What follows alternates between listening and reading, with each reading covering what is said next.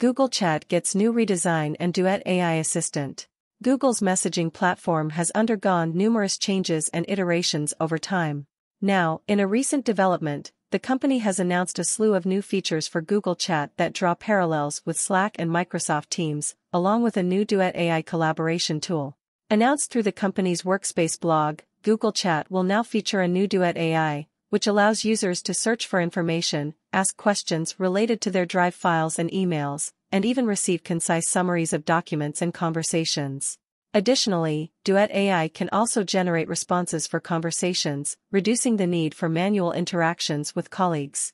Moreover, the app is receiving a substantial redesign that incorporates a new home view, offering quick access to recent conversations, along with a dedicated section for starred conversations and mentions. While the initial layout follows a reverse chronological organization, Google intends to implement context-aware ordering mechanisms.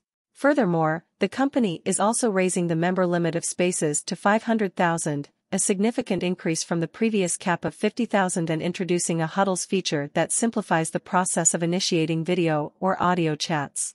You essentially have a coworker who has infinite memory and amazing recall at your fingertips, said Vamshi Jasti, Google's product lead for chat.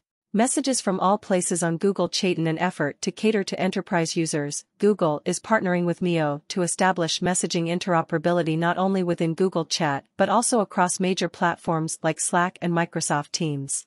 The aim is to streamline communication and prevent message loss when switching between multiple messaging tools. However, it is important to note this feature is currently in the beta phase, and the company plans to release it publicly in 2024.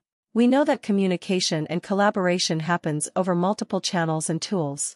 That's why we're partnering with Mio, a leading provider of collaborative interoperability solutions helping customers enhance their productivity by streamlining communication across multiple channels, reads Google's blog post.